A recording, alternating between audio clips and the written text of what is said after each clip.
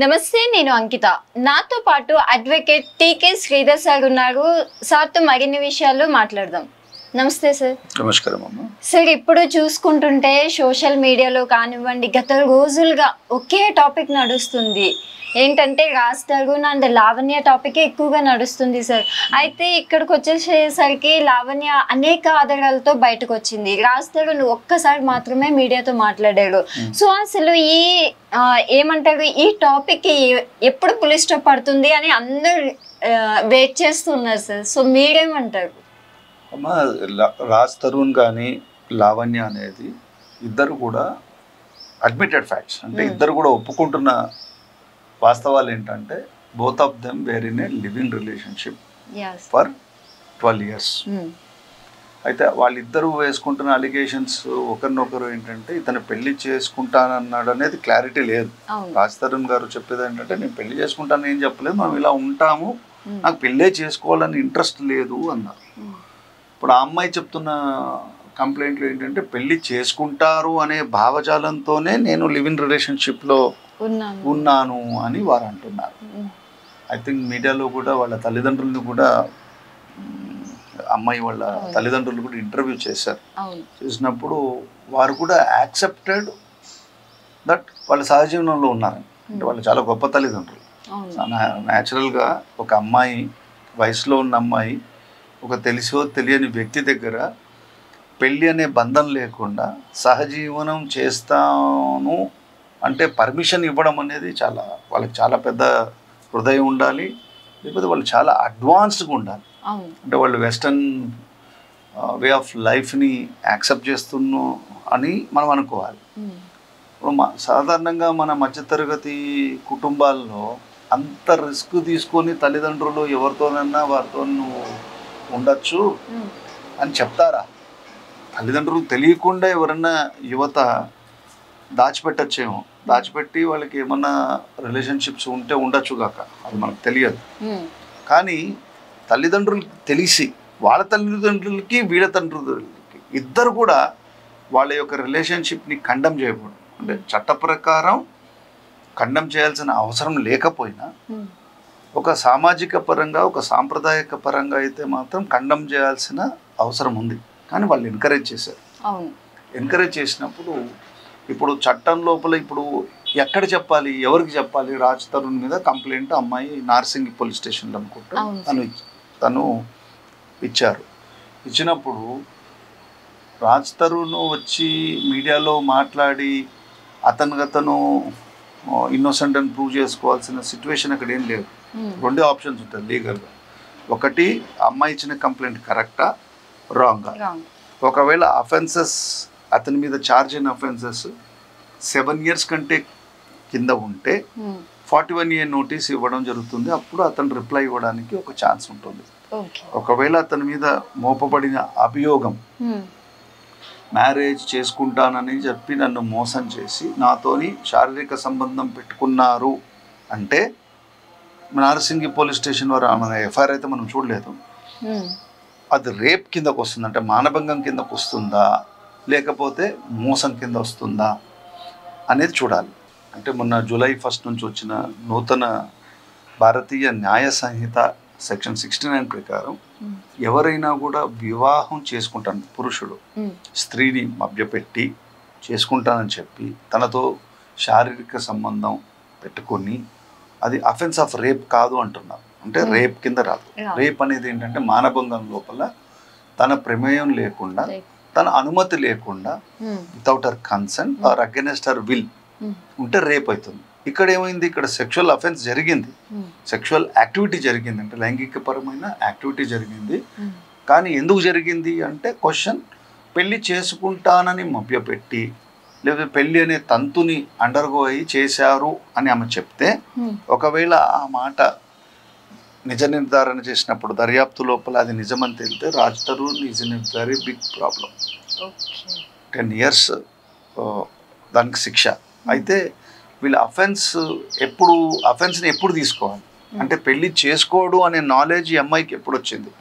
Twelve years కింద అయితే పాత క్రిమినల్ ప్రొసీజర్ కోడ్ పాత ఇండియన్ పినల్ కోడ్ అప్లై అవుతుంది. ఇండియన్ పినల్ కోడ్ ఇప్పుడు కాజ్ ఆఫ్ యాక్షన్ ఇప్పుడు పెట్టారనుకోండి డేట్ ఆఫ్ అఫెన్స్ ఎప్పుడు ఎప్పటి నుంచి వస్తుంది? అంటే ఈమె నాలెడ్జ్లో వచ్చినప్పటి నుంచి ఇంకొక అమ్మాయి మాల్వీ మల్హోత్రా అని వారు వారితోని ఈ అమ్మాయి ఈ అతను సహజీవనం చేస్తున్నాడని ఈమె కంప్లైంట్ అసలు పెళ్ళి చేసుకుంటే చేసుకున్నప్పుడు ఇంకో స్త్రీతోని పెళ్ళి చేసుకుంటే పురుషుడు అప్పుడు బైగమి కింద వస్తుంది ఈ అమ్మాయి సహజీవనంలో ఉండి రాజ్ తరుణ్ సహజీవనంలో ఉండి ఇంకోరితో సహజీవనంలో ఉంటే ఉన్నా ఎలా చట్ట ప్రకారం ఎలా బౌండ్ అవుతుంది కాబట్టి ఇవన్నీ కూడా ఏంటంటే ప్రజలు ఆలోచించాల్సిన విషయాలు.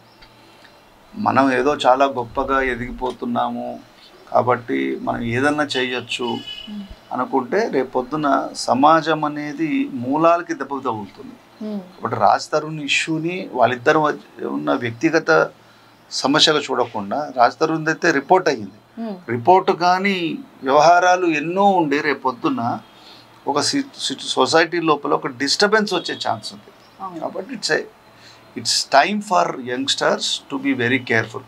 పెళ్ళి అనే బంధంలో ఉండి జీవితాన్ని ఉండడం బెటర్. ఈ సహజీవనము ఇట్లాంటివన్నీ కూడా వారికి శారీరకమైన నష్టము మానసికమైన ఒత్తిడి తర్వాత అన్ని విధాల వాళ్ళు నష్టపోబోతున్నారు ఎస్పెషల్లీ విమెన్. నష్టపోయేది మగవాడు ఎక్కడ నష్టపోడు.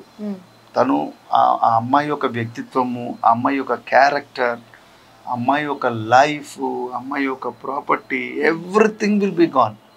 ఇక్కడ ఈ ఇది ఎస్టాబ్లిష్ చేసి తమాషాగా చాలా ఆనందంగా డిఫరెంట్గా ఉంటుంది.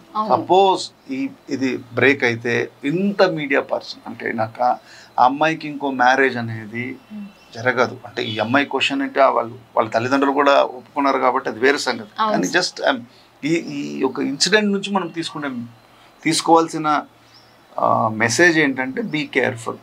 Either for girls and for boys just because ఒక గర్ల్ ఉంది కదా I can enjoy and just leave her అనుకుంటే it will be a risky affair బాగా బిగ్ షాట్స్ ఉండి వాళ్ళకే ఇలాంటి ఫ్యాషన్స్ ఉన్నాయి అనుకోండి బాగా డబ్బులు ఉన్నాయి ఏమవుతుంది ఒక ఇట్స్ ఒక జస్ట్ ఒక ఫ్యాషన్ అని చెప్పి వెళ్ళారు అనుకోండి there may be a case అప్పుడు ఉన్న ఆస్తులు ఇవన్నీ అమ్ముకునే పరిస్థితులు వస్తాయి. అమ్మాయికి రెప్యుటేషన్ పోయే వస్తుంది. ఆ తల్లిదండ్రులకి సమాజంలో విలువ లేకుండా పోతుంది. So one should be very careful కాబట్టి రా ఆ కంప్లైంట్ ఏముందో చూస్తే మనం చెప్పగలుగుతాం. ఇప్పుడున్న మీడియా అండ్ సార్ ఇంకొకటి ఏంటంటే లావణ్య ఇంత ఫైట్ చేస్తుంది కదా సార్. ఇంత ఫైట్ చేసినప్పటికీ ఎండ్ ఆఫ్ ద డే ఇప్పుడు ఏమంటున్నారంటే సోషల్ మీడియాలో ఎక్కువగా వినిపిస్తుంది. తను సెటిల్మెంట్కి కూడా రెడీ అవ్వబోతుంది అన్నది కూడా ఎక్కువ. సెటిల్మెంట్ రెడీ అవుతుందంటే ఆమె వ్యక్తిగతమైన విషయం. ఆమె. ఎప్పుడైతే తనని తాను సమర్పించేసుకుందో ఆ రోజే ఆమెకు ఒక రైట్ టు టాక్ పోయింది. ఓకే.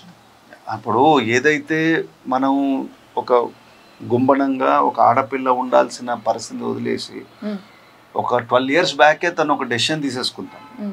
ఆ డెసిషన్ తీసుకున్నారు. ఆ డెసిషన్లో ఉన్నప్పుడు she must be knowing the consequences of our act ఇవాళ సెటిల్మెంట్ వెళ్తే వెళ్ళనియండి. ఏముంది? ఇప్పుడు ఎలాగో ఇతను పెళ్ళి చేసుకుని అంటున్నాడు. ఆమె కేసు పెడతా అంటుంది. కేసు పెట్టి నాకు శిక్ష పదేళ్ళు పడే బదులు. అదే చెప్పా కదా. హెవీ పై ఫైనాన్షియల్ లాస్ ఇలా ఏదో అమ్మాయి దొరికేసింది కదా మనం అనుభవించే చేయొచ్చు వదిలేయచ్చు అనుకుంటే హెవీ ఫైనాన్షియల్ లాస్ జరిగే ఛాన్సెస్ ఉన్నాయి. కాబట్టి బెస్ట్ అందుకనే పెద్దలు ఊరికనే చెప్పలేదు కదా వివాహం అనే వ్యవస్థ ఎందుకు వచ్చింది? ఇలాంటి అన్నీ కూడా ఉండకుండా ఆ పుట్టిన పిల్లలకి ఒక మర్యాద ఉండేటట్టు ఆస్తి హక్కుల్లో వచ్చేటట్టు వివాహం అనే వ్యవస్థ వచ్చింది. మనం ఓన్ ఆ వ్యవస్థ కాదని చెప్పి మనం ఓన్ కొన్ని కొన్ని ఇన్నోవేషన్స్ చేసామనుకోండి సైంటిస్టుల లాగా. ఇలాంటి అనర్థాలు వస్తుంది. అంతవరకే నేను చెప్పగలుగుతాను. ఓకే. సార్ ఇప్పుడు చూస్తే లావణ్య ఒక అడ్వకేట్తో బయటికి అయితే వచ్చారు అలాగే రాజ్ తరుణ్ వైపు కూడా ఒక బీజేపీ నుంచి పొలిటికల్గా స్ట్రాంగ్ ఉన్న పర్సన్ అలాగే ఒక పెద్ద అడ్వకేట్ కూడా ఆయన వెనుక ఉన్నారని మేబీ ఈ నెల ఎయిటీన్త్ లోపు ఆయన బయటికి వచ్చి ఆధారాలను కూడా కొన్ని తీస్తారు అంటున్నారు సార్ అంటే ఇప్పుడు దాని బీజేపీకిను అడ్వకేట్కి ఏం సంబంధం అమ్మా? ఫస్ట్ ఎనీ అడ్వకేట్ రోల్ ఎప్పుడు వస్తుంది వాళ్ళు పార్టీ క్రిమినల్ కంప్లైంట్ వేసినప్పుడు పోలీస్ దగ్గర వేశారు. వేసినప్పుడు అక్కడ అడ్వకేట్ రోల్ ఉండదు. Police will decide. ఒకవేళ ప్రైవేట్ కంప్లైంట్ వేస్తే దట్ ఈస్ డిఫరెంట్. ఓకే. ఇతడికి నోటీస్ వచ్చింది. చెప్పాను కదా సెవెన్ ఇయర్స్ కింద అయి ఉంటే నోటీస్ రావాలి. లేకపోతే అరెస్ట్ చేయాలా అనేది పోలీస్ డెసిషన్. లేదా రాజ్ తరుణ్ వాళ్ళ అడ్వకేట్ ఎంత పెద్ద అడ్వకేట్ అయినా will take a recourse for filing anticipatory bail. ఒకవేళ సెవెన్ ఇయర్స్ మీద ఉన్న శిక్ష అయితే. ఓకే. శిక్ష కే పడే కేసు అయితే. కాబట్టి వాళ్ళు ఈ పార్టీనా ఆ పార్టీనా వాళ్ళకి వాల్యూ రాదు. వాళ్ళకి whether they know the statute how to defend the case అనేదే మనం చూడాలి. ప్రతి వాళ్ళు కూడా ఇప్పుడు ఇప్పుడు లావణ్య గారి అడ్వకేట్ కూడా మీడియా లోపల నేను వదలను అంటున్నాడు. అవును. అసలు అంత పర్సనల్గా ఆయన తీసుకోవాల్సిన అవసరం లేదు. ఈజ్ డూయింగ్ ఎ డ్యూటీ అంతే. ఇతనికి ఏమి పర్సనల్ ఇంట్రెస్ట్ అట్లా ఉండకూడదు. అట్లా అట్లాంటిది మనం ప్రొజెక్ట్ చేసామనుకోండి ఉమ్, advocates are not here to go for a personal fights party వస్తారు ఇంకో పార్టీ ఆపోజిట్ వస్తారు. ఉమ్, ఎవరిది న్యాయము ఎవరిది కరెక్ట్ రాంగ్ అని డిసైడ్ చేయాల్సింది కోర్టు మనకు మనమే హీరోయిజం ప్రదర్శించడం అంత మంచి పద్ధతి కాదు. వారు కూడా చాలా లర్నర్డ్ అడ్వకేట్ కానీ ఇంకోటి ఇంకో లేటెస్ట్ లా ప్రకారం ఏంటంటే ఇప్పుడు మీ యూట్యూబ్ ఛానల్స్ అన్నీ కూడా చాలా ఉమెన్కి సంబంధించిన ఇష్యూస్ లోపల పేర్లు చెప్పడం అవన్నీ జరుగుతుంది. ఇప్పుడు లేటెస్ట్ లా లోపల without the permission of the court ఒకవేళ కోర్టుకు వెళ్తే you are not suppose to report unless there is a permission. మీరు చేస్తే ఒకవేళ చే అట్లాంటి పరిస్థితి వస్తే దానికి శిక్షలు కూడా ఉన్నాయి. అది మళ్ళీ చెప్తాం. కాబట్టి జాగ్రత్తగా ఉండండి. మనము జాగ్రత్తగా ఉండమని చెప్తున్నాం.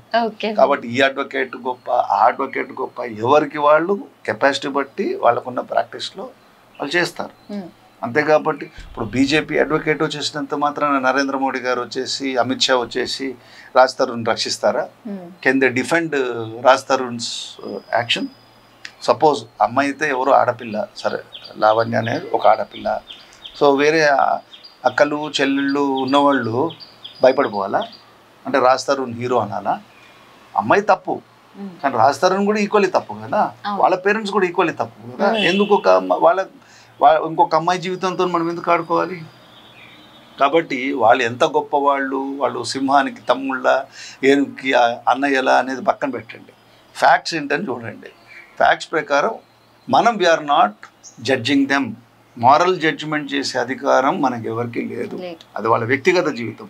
కానీ పబ్లిక్ డొమైన్లో వచ్చినప్పుడు ఉమ్, మనం డిస్కస్ చేసే హక్కు ఉంది but there are certain limitations అంతేగాని వాళ్ళు ఈ గొప్పవాళ్ళు ఆ గొప్పవాళ్ళు ఎవరెవరు అందరూ గొప్పవాళ్ళే. లా చదువుకున్న వాళ్ళు అందరూ గొప్పవాళ్ళే.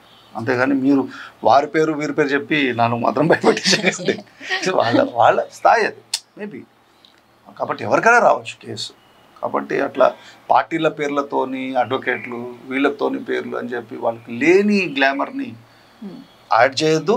అది వాళ్ళకి డ్యామేజ్ కూడా అవుతుంది అప్పుడు మీరు బీజేపీ అడ్వకేట్ అంటే ఆయన బీజేపీ కేసులు మాత్రమే వస్తాయి ఇంక వేరే కేసులు రావు.